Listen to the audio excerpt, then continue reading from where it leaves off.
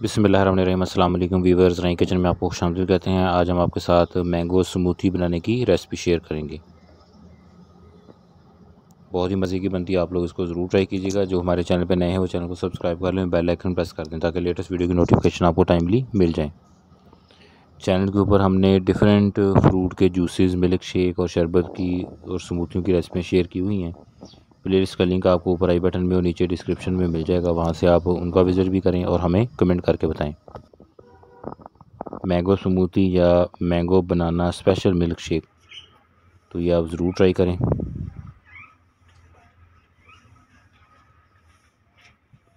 तो mango smoothie बनाने के लिए आम जो है, इसको आपने गुठली निकाल देनी है, छिलका उतार देना है और इस तरह टुकड़ों में काट लें।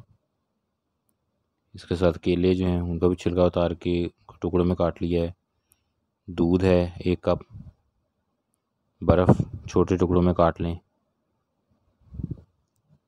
इसके लिए दो अदद आम और दो अदद केले हमने लिए और एक कप दूध। पहले आम डालेंगे जग में, उसके बाद केले।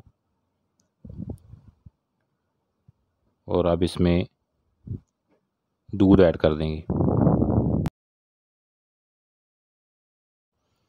अब इसमें दूध डाल दिया है। और इसके साथ अब चीनी डालेंगे इसके अंदर।